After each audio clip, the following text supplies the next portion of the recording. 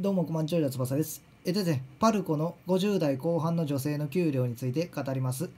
だいぶね、リアルな共鳴最初、集めたものを再生リストに並べてますので、動画説明欄に URL 貼ってますので、よければそちらからおたどりくださいませ。では、いきます。基本給が29万5千円、時間外手当が4万7千円、家族手当が2万1000円、通勤手当が1万円で、月収が37万3千円ですね。賞与が年間2回で149万3000円。で年収が597万3000円となってます。こちら年収サイトと有価証券報告書よりですね。はい終わります。